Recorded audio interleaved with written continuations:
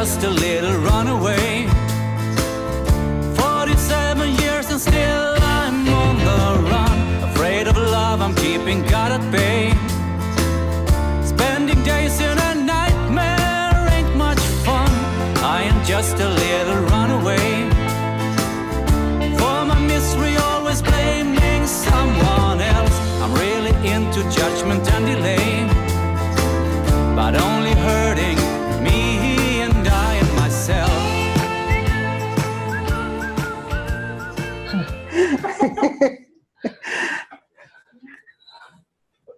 everybody.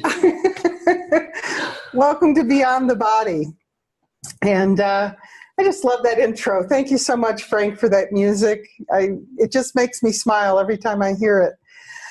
Okay, well, we've had uh, quite a, an interesting week since the last program, or a couple of weeks. and uh, this is probably one of the more spontaneous programs I've ever done. Um, Lila and I had been joining all week um, over sickness is a decision, lesson 136 in the Course in Miracles. Sickness is a decision. And uh, so whenever I set anything up, that's what I get an opportunity to experience. So the past couple of weeks have really been unraveling this whole concept of sickness is a decision. And um, Jenny, my guest today, my handholder, uh, she has been present to many of my unravelings. It started in Tabula Rasa when I first met you. I think that was the first time we had met in person. Hmm.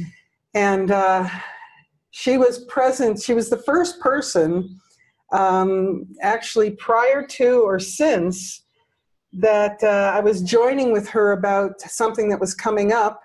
And uh, she said, Can I touch your tumor? And at the time, no one but hospice people had touched it. And uh, it was kind of like, well, okay. And she put her hand on my belly. I won't forget it. I can still see us. Mm. We're there right now. Yeah, I remember. I know. And she said, It feels like a baby. Mm. And I had I just burst into tears. It was, I didn't realize the amount of shame that I was holding on to. And you saw me as innocent. You were the first, that was the, the biggest experience is this woman is holding me as innocent. She's a mighty companion. And she's been with David for 12 years and um, has done her own work, I'm clear.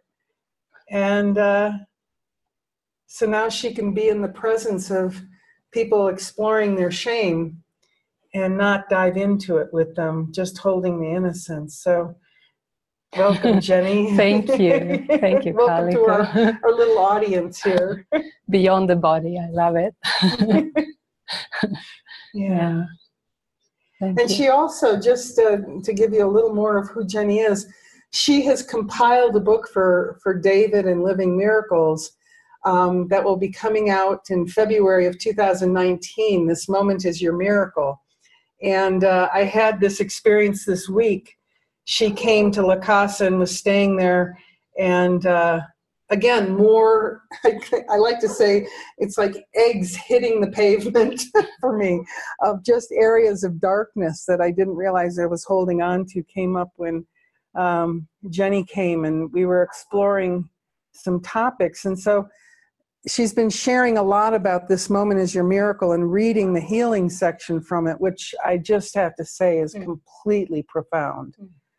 and so accurate there's so many misunderstandings of healing and i think the clarity in this book is profound mm. yeah yeah yeah one of the main major things in this book and that is like a response to the major error in the world around healing is that healing is of the mind healing is always mental and and it's distorted in the world because it's always the focus on the form fixing the form fixing the form which is actually perpetuating the error. It perpetuates the belief that you are the body that the world is your home and you know all of that. It's it's the wrong focus basically. So healing is to redirect the focus Right. Yeah. and that's i mean I, I you know i'll just pull this back because again this started with like greg donner's in the audience jenny's jenny's beloved um, all our beloveds he's my husband too um, and he was at the very first month that i was at the monastery and uh, Mm. it was again it was a huge awakening for me um, and a piece of that was and i remember it was the only time i think i really even talked to david um, and he called and he was on a, a, a phone and there was a michael was there and he was saying well you know if there's anything you need to do in form you might want to explore that. And for me the good news and i really am starting to see this more and more as such a gift um, i mean i was put in hospice. They gave up on me. The doctor said nothing we can do. We went in we did as much as we could you're on your own and when you feel bad enough enter hospice. And i told david i said that's the good news. I don't have to explore that mm-hmm. avenue of form any longer mm-hmm. because there was nothing to explore. They said Mm. you know yeah it's everywhere. We can we can track it and tell you where it's going to which didn't seem like a good idea but and this is this is the mind. It has to be the mind. And so i knew at that point there was nowhere else to go hmm. You know what? I may have a surprise for you, but I think that's actually the first time I met you. Was in 2012 in New Mexico in a course group. you were in that court when david came through When Greg and I came through. oh i remember that I oh was Oh always surprised to hear that you were in hospice in 2012 because that was the year. We it was right after that that i went into hospice it was not too long Mm. oh my god i remember that oh that's Yeah. oh, So that's our first encounter, really. But then oh i definitely several years You went. sat over here on a couch. I was here. I Yeah. remember the light was coming in and hitting you both in your face. I can see it like it was right there. Yeah. Oh, that's funny. It's a, it's. I'm in a cascading miracle. That's all I can say. It's like this moment is your miracle, and it cascades if you allow it. Um, yeah, and I just want to share what happened this week because Lila, and I don't know if she's on the program yet, but Lila Lila and I were planning on going on this program together. And yesterday, um, there were so many things happening. The healing was massive this past week. And it came up when we were looking at really reaching out to the non dual community as far as exploring who out there is, is waking up and needs some support, needs some mighty companions to Mm. join with. And um, at that moment, I had a, a loop come through, and it was a man in that group that you guys came to. there was a man in that group. Um, and there's a lot of non-dual people in Santa Fe. They're course students and they're non-dual. And he really believed um, in the Pleiades. And it's not the UFO thing that I had a problem with, but he was waiting for them to save us, as many are. And I, was just coming into this. I, you know, I'm kind of screwed if I can't look at my mind. And so I was really pushing the issue of, you know, I, I have to go into this cancer thing and not wait for someone else to save me because clearly no one's going to be there. And so we were talking about in an expression session this week, and his face came up, and I just mm-hmm. shared saying, you know, I got real aggressive with him at one point. He also was a Vietnam vet dealing with quote unquote Agent Orange exposure that created cancer. So he had cancer. And I got really pissy with him. Mm. I don't know if I can say that on air. I was really angry. and it was me being angry at myself of not knowing how to do this, how to go deeper with this. And the frustration level I projected out onto him. So, Peter, if you're watching this, I, I love you, man. and what came from there so that was that was just the beginning that was just the scraping of the the eggshell a little bit what really threw it down was i asked jenny she was staying at la casa and i asked to join with her and she couldn't do it immediately. And so she came in at the end of the day and said let's join. And there was nothing up and i've known not to dig for it. It's not something you go digging for. And so we we had a pleasant conversation and then as she was getting up to leave we went to hug each other, and she all she said was, "Oh, I see you as this sweet little five-year-old." That's all she said, and we hugged. And I all I said was, "Oh my God, what the hell did you just say?" or something to that fact, because it was clearly there were things rising very quickly, and we didn't talk about it then. In fact, we're just now really kind of joining on this. Mm. Um, it took me on this journey into my life, and it was um, at five years old. I remember the decision to be sick. And I just need to say, sickness is, I made decisions for disaster, I made decisions for foreclosure, I made decisions for angry projections, failed relationships. I mean, I made a lot of decisions. None of them were happy, none of them led to any kind of love, but those were decisions. So in the course, when it says, I made a decision to be sick, you fill in your version of sickness because they all look different. But the last card I pulled was cancer. And um, when I was five, my father was a raging alcoholic. My mother was a sick, codependent, anorexic.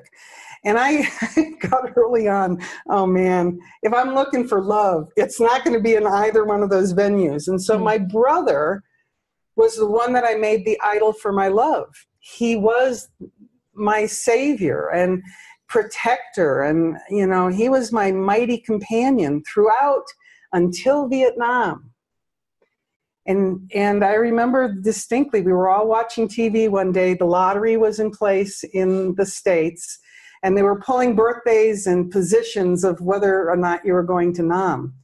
And uh, we were all sitting around watching, and they pulled my brother's birthday, and they pulled number one, and he was going to Vietnam.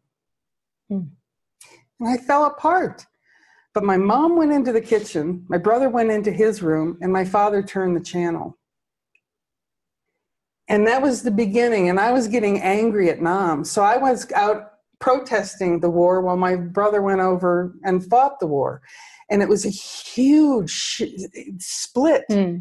In our ability to love each other mm. and that just continued to grow throughout life there were lots of other circumstances but that was the beginning and it was this decision as this innocent five year old to have a brother that i loved that i could reflect my love on until it couldn't be reflected beautiful. anymore. Yeah. And well, so this is it. Yeah, right. And what is beautiful, I can see too that probably at that point you made a decision too to transcend the belief in personal love and that you would be loved beyond that, although at that time it was too hard to see that. That's interesting. The healing journey, you know, is all about transcending that personal. Yeah, this love. is new. This, I'll have to sit with this. Yeah. Yeah, because there was, it definitely was mm-hmm. that feeling of there's a bigger love. Mm-hmm. Huh. Yeah. Which is what we're all looking for. And that's what the, the whole nature of this program is. Mm-hmm. Yeah. yeah, When when you invited me, and I was thinking of of this and, and the, the theme of sickness and going beyond the body and what came to me is you know the simple way that i see to heal is to actually just how do i feel now or what am i thinking now mm-hmm. go in every moment and see what what is the decision do i decide for sickness or for healing in this moment you know then we're then we are rid of all the you know intricacies and okay when did i meet somebody who had the flu or what what did I do to get this cancer? Was it on the timeline? You know, no, it's actually how do what do I think right now? You know, and then we don't look to the form, the, the spirit, and the answer doesn't look to the form of things. You know, it's, form is only on the timeline. Yeah, yeah. Yeah. Totally. Yeah. And that's, I had a Facebook Live this week and I talked about pain because one of my awarenesses is if I'm in this moment right now, mm-hmm pain is impossible. It's only projected in, from the past to the future, and that fear, that, that back and forth. Oh my God, it's been painful, it's going to be painful. But if you can focus on this moment, and for me, it's listening to the birds. I mean, I can go into immediate moment by, oh, can you hear the birds? yeah. yes. Okay, stay there. I can hear them right now. Yeah. And it brings it very present. And you're right, form is on the timeline. Mm. And this moment is your miracle. I and we were talking this morning. I'm hoping there may be a program um, that comes on where Jenny or somebody reads sections of this book. We're still all we're, that just came up this Yeah. morning, but um, it is the way that you have put it into words. There's so much clarity with it. Hmm. I don't know if you have anything prepared. I know I'm going to put you on the spot here. Um, do you have anything from the Wow. healing section that you read? Because it was so profound. And I think it might be helpful for others. There was some that came to my mind. Okay, great. Um, well, I can read a couple of shorter pieces, or maybe, yeah, I have two or three.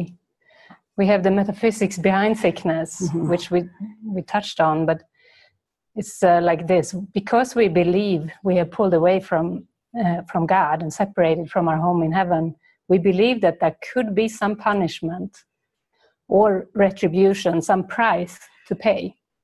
This fear of retribution from God is unconscious. Because of this, and being aware of the truth that I can be hurt by nothing but, but my thoughts, the mind is actually afraid of healing. And it- this is why it makes itself sick. It's saying, This body is real, it is my identity. It strengthens our belief in the body as our identity rather than the and I'm not innocent.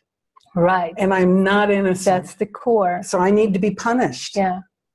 It's sick. Yeah. It really is. I mean, it's such a Yeah. dysfunctional way of looking at everything. Yeah. Yeah. And then it's the evidence when the body gets sick. It's like, okay, God, Proof. yeah, I'm bad. yeah, and I am separate from God, and God, God's reality is not real. This sick reality is real because the body is the proof. Yeah. You know, that's where it goes. And then the problem, why? Because many people say, why don't I get healed? Why it doesn't Oh, healing come? I that's a- prayed for years, you know. It's a hornet's nest. Yeah. but I got the answer here. We put it in the book. Please share. So I'll read it. Let's take a look at a scenario which could have a transcending nature for you if you yearn for healing. So, a patient typically goes to a doctor or a therapist because he wants a magical shift. He wants a better life in form. He wants a doctor to magically take away his problem, his difficulties, his pain, and his symptoms. And herein lies the problem. Getting a better life in form is just a temporary shift. It can never be lasting. And the true healer, the Holy Spirit, is the real therapist and the doctor.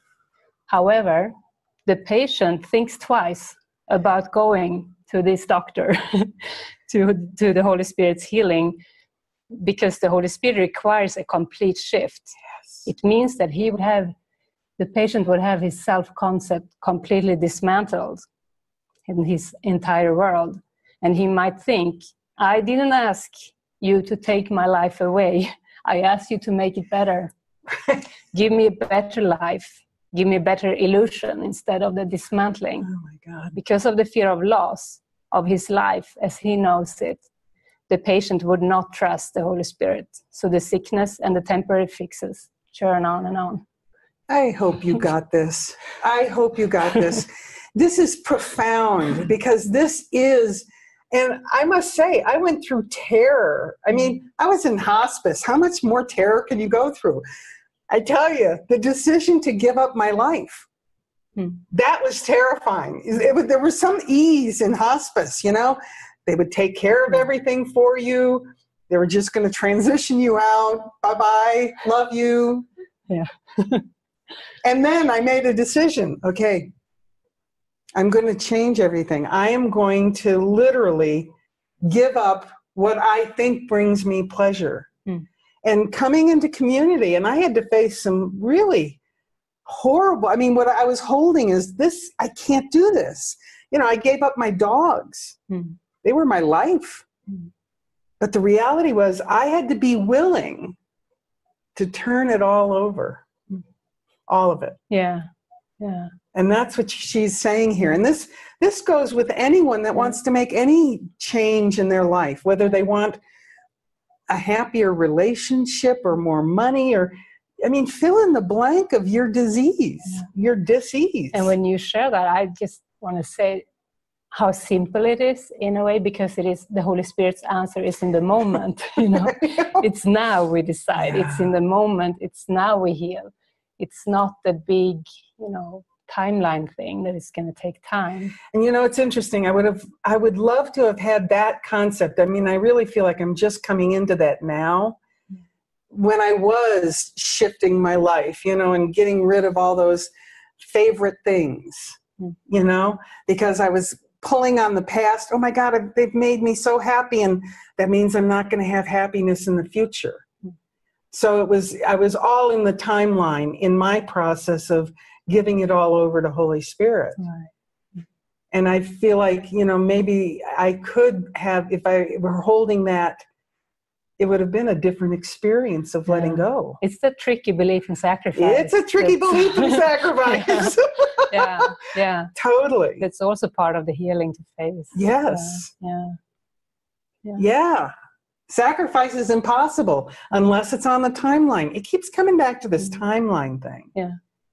Yeah. because we weren't taught how to live in the moment Right. it was always future. I mean, I think we even talked about this in my family. It was we're waiting for another shoe to drop, which is always future based. I mean, you know, right now we're okay, but there's going to be another shoe dropping at some point in the future. Mm. So it's like I just learned how to think on that timeline like that. Mm. So I went from one disaster to another to another to another. And I, I must say, this is relatively recent that I'm really kind of coming into this. Where are you? What are you Mhm. thinking right now? Where are you right now? Right. Yeah. Yeah. And that's the key. Wow. That's the key. Because if there's any little darkness in there, doubt thoughts, a self, you know, I think it's often like self punishment and self doubt and unworthiness, Yeah. those kind of thoughts running. And if that's there, that is actually the choice for sickness. So in that moment, to just be open to, because it's not, not even our job to change, it's just our job to be willing to change and then Right. invite the light, invite the spirit. And Holy Spirit can only be here in this moment. Yeah. Because Holy Spirit isn't on a timeline Mhm. Can only be experienced now.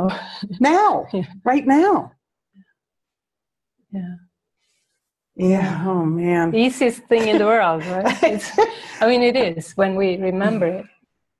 And I just need to say, and find yourself some mighty companions somewhere um, that can hold this for you when you can't, because that is. And I and I offer you the 30 day program.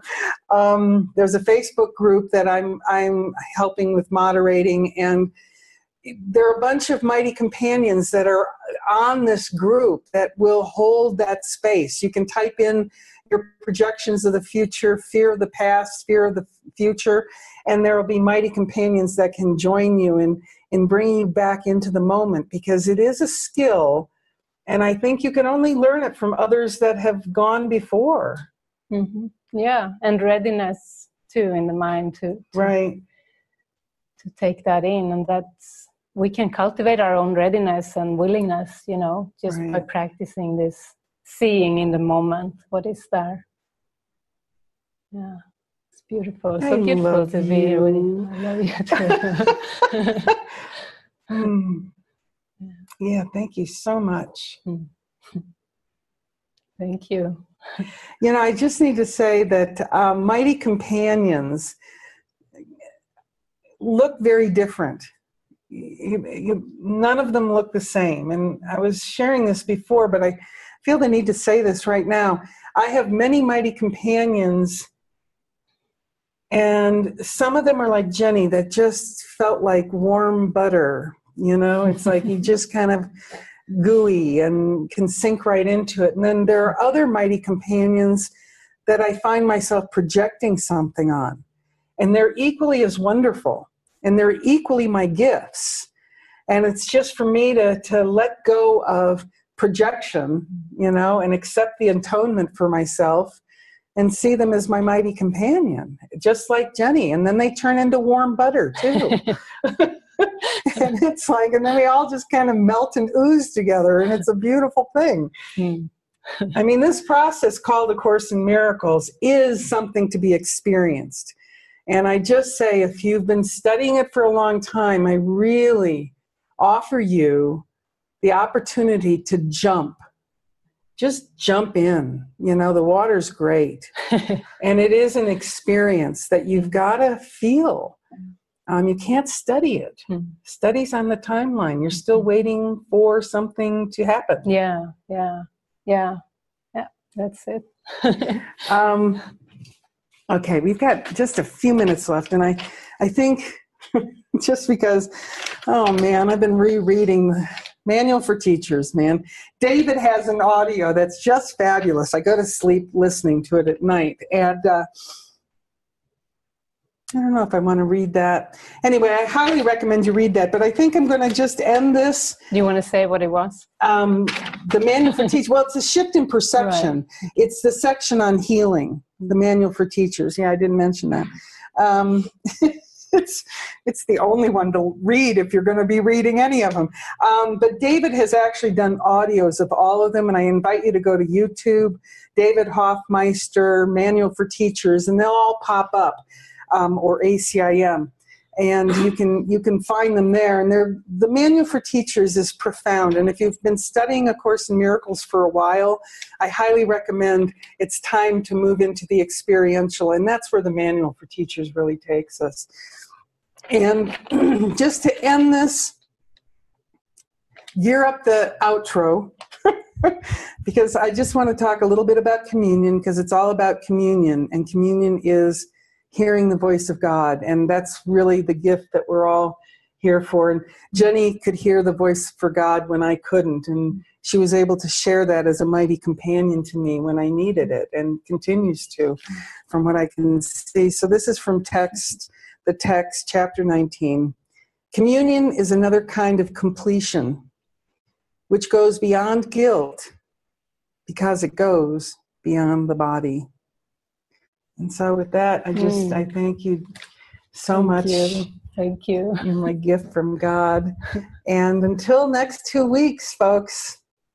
Bye. Have a great moment. was thank just you. a tiny mad idea at which the Son of God remained.